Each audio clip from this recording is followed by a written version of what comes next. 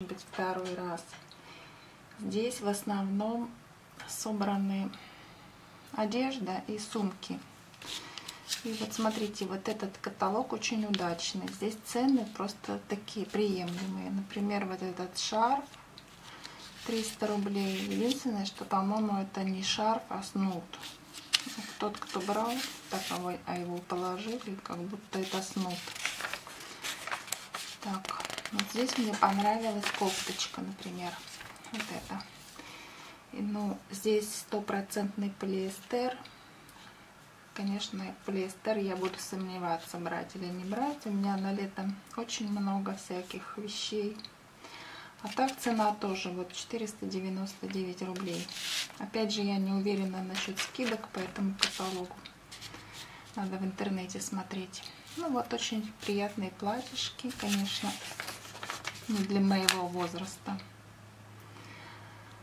Так, купальники мы уже проехали, поэтому они и со скидкой идут. Так, детская меня вообще не интересует. Так, еще вот мне понравился здесь кошелек. Я его видела в обзорах Avon на ютубе. Он шел, да, он шел 800 рублей. Видите, осталась цена 279 он полностью раскрывающийся, но у меня столько кошельков, что мне пока не нужен. А так вот вещи, которые так привлекли, они в принципе ну, достойны своего внимания. Ну, здесь такие совершенно безвкусные сережки. Я считаю, что это вообще какой-то демоде абсолютно неинтересная. И бижутерия вся Эйвен, она вся какая-то неинтересная. Я не что у меня там великий вкус, вкус какой-то Вот это все, во-первых, очень мелкое подставочки. Ну, более-менее колечко. Единственное, что четырехглазое, не знаю, как его носить, это как-то тоже очень странно выглядит. Ну, зато цена 200 рублей. Видите, оно было 400, и когда оно первый раз появилось, оно появилось только в наборе. А, там, по-моему, около полторы тысячи стоил набор.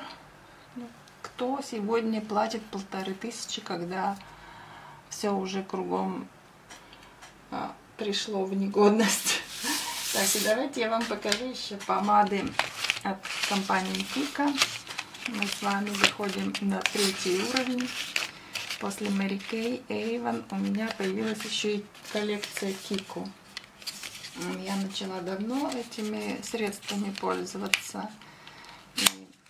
ну, довольно-таки успешно. Но они тоже, по-моему, проходящие. Сегодня уже выступает корейская коллекция навстречу. Вот смотрите, вот такие помады у них. Это похоже очень на нашу Dusty Rose. Она у них называется Velvet Passion. 315 номер. Они еще совершенно у меня новые. Но все, что я беру, я беру для себя. Это тоже почему-то идет Velvet Passion, только 302 номер. Почему они так делают, непонятно. Без названий. У нее вот такой типа шел цвет. Э, я просто очень привыкла к старым цветам Kay, и я не могу их найти. Приблизительно похожие сегодня Mary Kay коллекции есть, но они не те, что были раньше. Так, этот тоже идет Velvet Passion, только номер 303. Может быть, у них здесь есть цвет? Нет, просто мате. Я просила стойкую. Они все идут матированные. Да. И по номерам отличаются. Странно, вообще цвета нет. И вот этот вот, видите, тоже какой-то такой розоватый. Значит, единственное, что в компании Кику у них освещение слабое в офисе, ну, в магазинах.